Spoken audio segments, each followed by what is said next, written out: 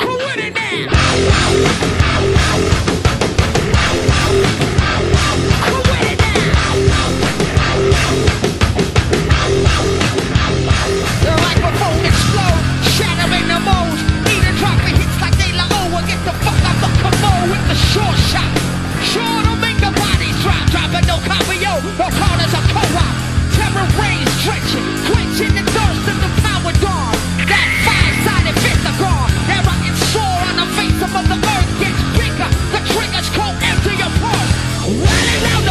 with a pocket full of shells.